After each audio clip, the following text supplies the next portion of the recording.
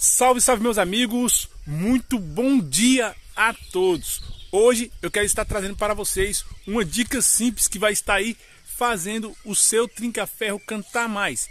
É isso mesmo, né? Se você está aí com o seu trinca-ferro e esse pássaro não está se desenvolvendo, ó,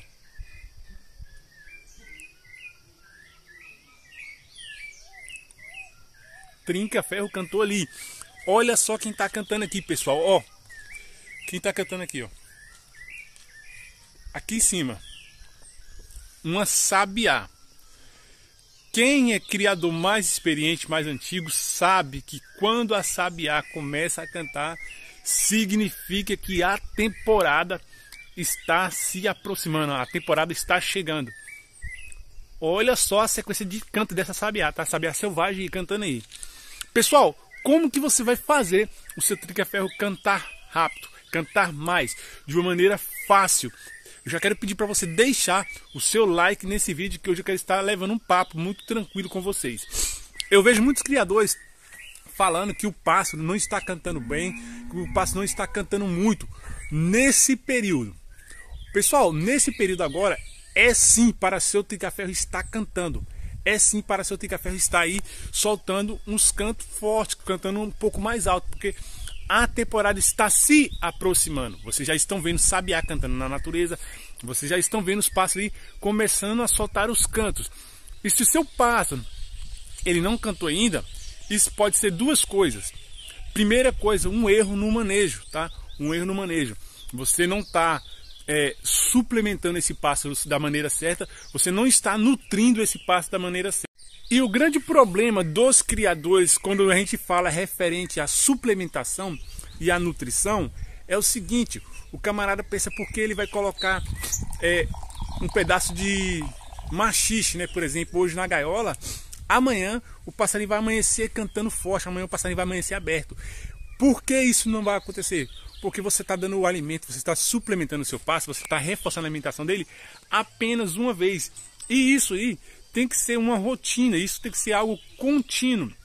Muitas pessoas me falam, Eliésio, a batata doce, eu dei, meu passarinho começou a cantar, aí eu parei de, de dar, ele, ele deu uma diminuída no canto. Pessoal, todos os tipos de suplementos que vocês usam natural, seja batata doce, seja espirulina, é, seja o milho verde, qualquer esse tipo de alimento, é, vocês precisam entender que isso tem que ser uma rotina.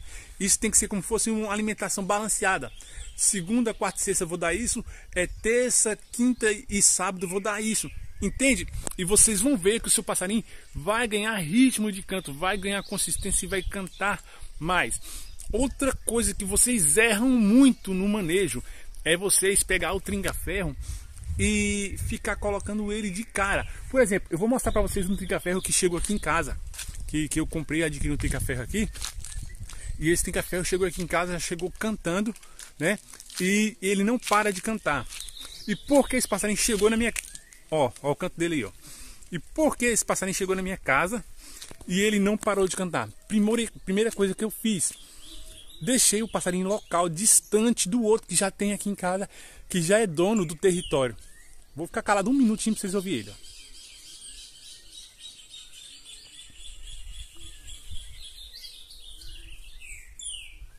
Olha aí, ó, passarinho cantando.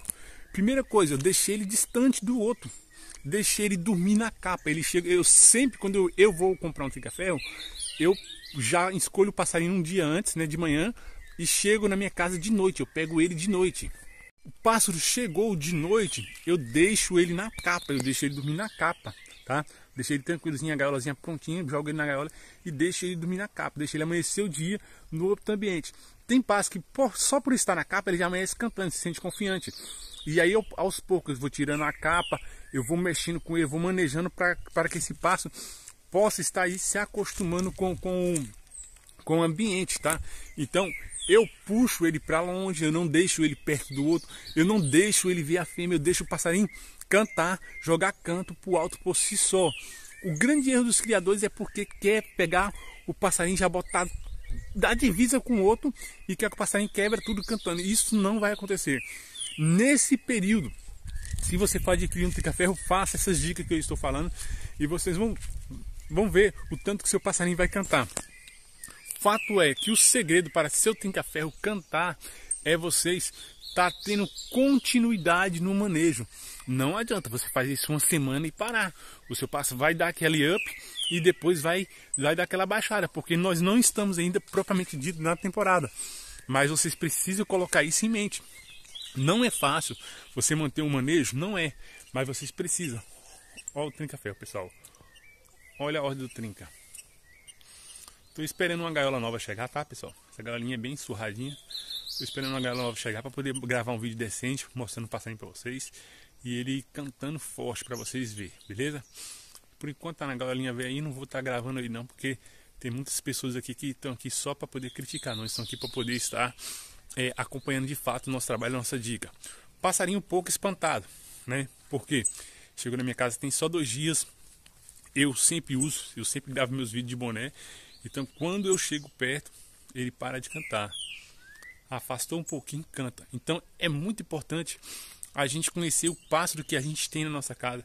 É muito importante a gente conhecer os detalhes para que nós não possamos espantar a ave e fazer ele travar. O pássaro desse aí, comigo aqui, ele vai cantar sempre, porque eu já dou uma observada no comportamento da ave, aquilo que ela gosta, aquilo que ela não gosta, para estar tá deixando o pássaro mais à vontade é, possível para que ele possa estar cantando.